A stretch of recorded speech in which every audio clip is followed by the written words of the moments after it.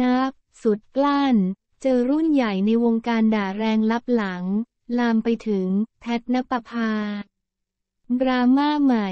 เมื่อ นับฉัดนัน ออกมาไลฟ์เล่าเรื่องราวของรุ่นใหญ่ในวงการบันเทิงคนหนึ่งที่ จู่ๆก็เอาตนและพี่สาวอย่าง แพทนปภา ไปด่าลับหลังมีทีมงาน 6-7 คนได้ยิน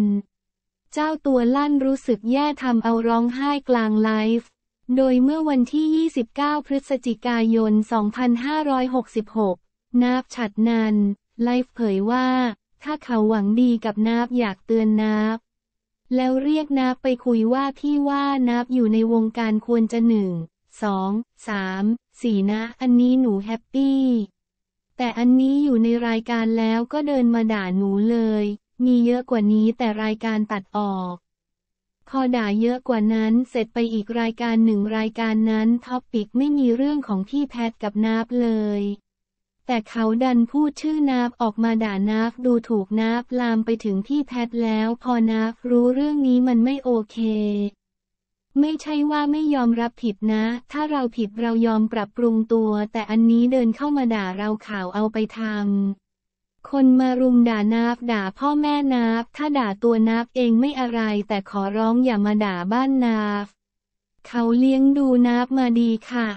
ในรายการที่มดดำเขาด่าเยอะกว่านั้น แต่รายการตัดออก โอเค ด่านาบในรายการนั้นไม่เป็นไร แต่ไปอีกรายการไม่มีหัวข้ออะไรที่ต้องพูดถึงนาบแต่เขาดูถูกนาบด่าพี่แพทคนในรายการ 6-7 คนอึ้ง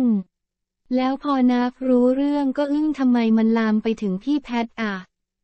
ไม่โอเคไม่มีใครโอเค เนื้อมาด่าแบบนี้นาฟก็ช็อตที่พี่หลายคนคอมเมนต์ถามนาฟว่ารู้สึกยังไง ก็ shot feel มากรู้สึกแย่ว่าทำไมต้องมาตัดสินขนาดนั้น พอรายการอัดเทปเสร็จก็โทรมาเล่าเลยนาฟก็เคารพเขาพี่แพทก็เคารพเขาในวงการ แต่ทำไมมาด่าแรงแบบนี้ จริงๆ คิดว่าน่าจะจบตั้งแต่รายการที่มดดำแล้วที่อยู่ดีๆ เดินเข้ามาด่าคือจริง ๆ คุณอยู่ในวงการบันเทิงคุณต้องรู้สิว่ามันเป็นดาบสองคม การที่คุณจะพูดอะไรไปแล้วมันกระทบ